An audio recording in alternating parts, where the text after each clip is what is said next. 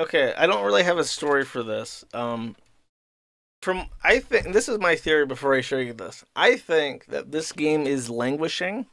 Um, I think that like I don't know who the fuck plays it. There's no there's no talk about it. The reviews for the game are negative, but it's also like the pride and joy of the company that made it.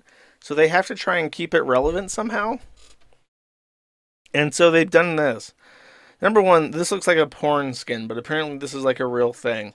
Overwatch 2 has officially announced that if you get level 175 in the Season 13 Battle Pass, you will unlock the um, the subtitle, like the like how in Helldivers it says Super Citizen or whatever your rank is. You'll unlock the special title, Kitten of Discord. Like just on the nose, direct grooming, gooning reference baked into the fucking game.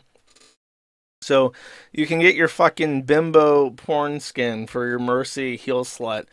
And then you can literally make your title the kitten of Discord and play the game.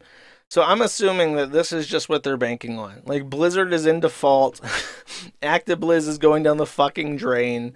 Everybody is abandoning ship. The, stonks are going down. I think the only thing keeping the the entire business solvent at this point is like Indonesian gacha game players that are addicted to Diablo 4. Like I legit have no fucking idea who plays that shit. Um, but I think that's like where the game industry has gone as a whole. I've watched a bunch of videos. It's um I ended up watching this guy's channel where he just like played super old MMOs that were still plugged in because they had they still generated revenue. And he would like play EverQuest and shit. It was I forget his name, but something MMO. Um, but he also did like a video series about Diablo 4 or Diablo Immortal or whatever for the phone. And just how like crazy, crazy predatory the um the the whole the whole system was and in terms of like exploiting its users how there was like literally 16 different currencies in the strife hayes yeah josh strife hayes that's him. He um he plays old mmos but he also does video essays uh, well, i mean he only did a video essay on diablo immortal and it was crazy how exploitative this game was in terms of having multiple different currencies, items that look near identical but have extremely important functional differences between the, the paid for premium versions and the not paid for versions, and how you can literally just dump as much fucking money as you want into it. How the the games are like the actual dungeons that you're supposed to do for this loot is effectively just a way to bypass the European European uh, gambling system. Like they have rules about gambling, but there can't be any level of skill. So you like put in one of your gems, and then you get to play a dungeon. At the dungeon, you have a guaranteed number of legendary rolls. But if you die while playing the dungeon and you lose, you get to keep your gem. So it's a very short dungeon. If you lose, there's no consequences and then at the end you get a fixed number of rolls. So it's technically a game of skill in the most like rudimentary possible way imaginable. Um, but it's effectively just a loot box. So it's like this crazy, crazy exploitative system designed to make people get desperate enough to put their credit card in to redeem free free loot, basically. And it makes it must make it a fucking obscene amount of money because I think that all the most profitable games in the world right now are those kinds of loot box games. Like, um, what are the other ones? It's like Azure Blue, I think. Someone I I've seen that one. It's like a bunch of different anime looking games that are like hero shooters, and then there's Genshin Impact, and um,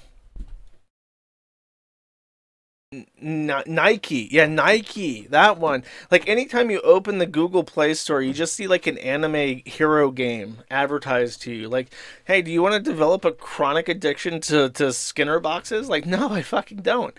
So that's where the gaming industry is gone. Why don't they make good games anymore? Um, back in the day, you had to make a good game in order to sell it because it would sell by word of mouth. You play Diablo 2 and you're like, holy shit, this is a fucking awesome game. You should uh, then you tell your like that's how I got into it. My um next door neighbor when I, I was like in the fifth grade when that game came out, and my next door neighbor had um parents that played World of Warcraft. Uh, they were. I, I remember this very distinctly. They were both they were in the Air Force, or at least his father was, and they were both like in, huge into WoW, and they also played Diablo 2 when it came out. And I just remember like sitting behind them at the computer, like playing this extremely gory game that had these like the the cinematics for Diablo 2 at the the year they were released were like breathtaking. They look silly now if you go look them up. They they still hold up. They look bad. They look Shrekish because of the era, but like the the voice acting and and and stuff for the Diablo 2 cinematics still hold up as really really cool. Um but uh, actually they remastered it so you can you don't even need to. And they still hold up in the remastered version but you played it because people told you about it. Nowadays, you play it because um, your Twitch streamer plays or whatever and gets free shit.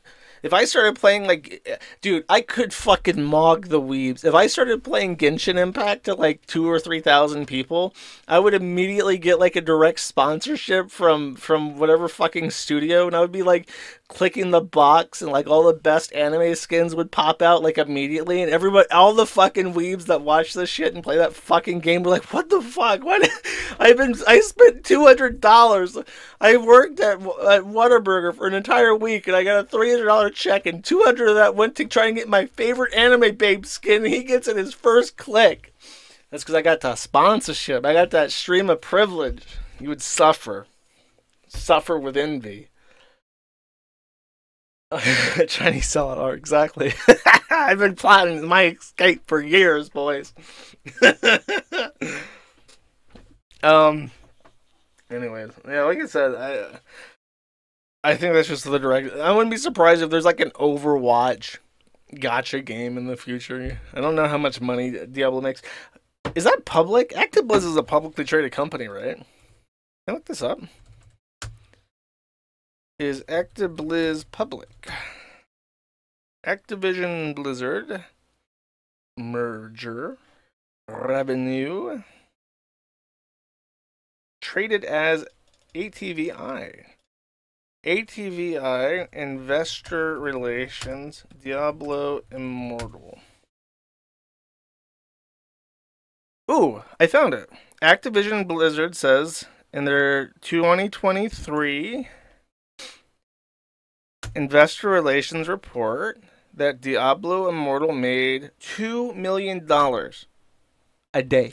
That's $700 million. $730 million. Um, in just by June 30th of, of 2024. That's crazy. That's a lot of money. There you go. That's the money. That's the money pit. You got the, the Indians putting their, their ten dollar rules in to get impressive skins in a fucking Skinner game. How much money do you think that Overwatch and, and the the fucking re release of Warcraft and Diablo two made? Probably a pittance in comparison. A pittance. I, I'm telling you, I should get into digging into investor reports. I bet you there's all sorts of juicy shit hidden there for um for for content.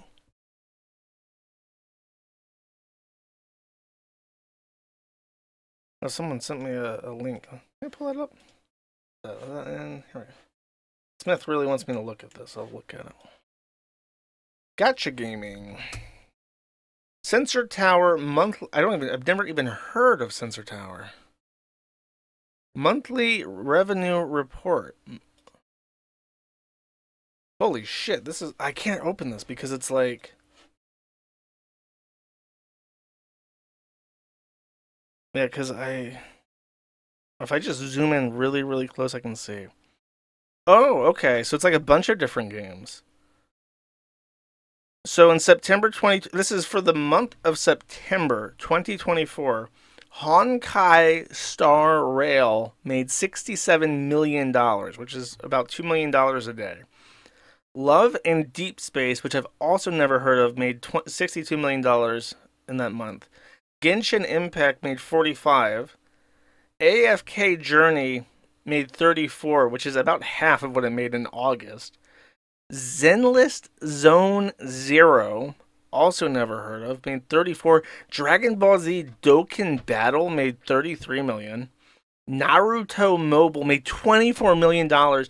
Naruto is making almost a million dollars a day in 2024. Uma Musume Pretty Derby made 23, Monster Strike made 2022 or 22. Fate Grand Order, which I've heard of, but I, I don't know anything about. These games all look the same.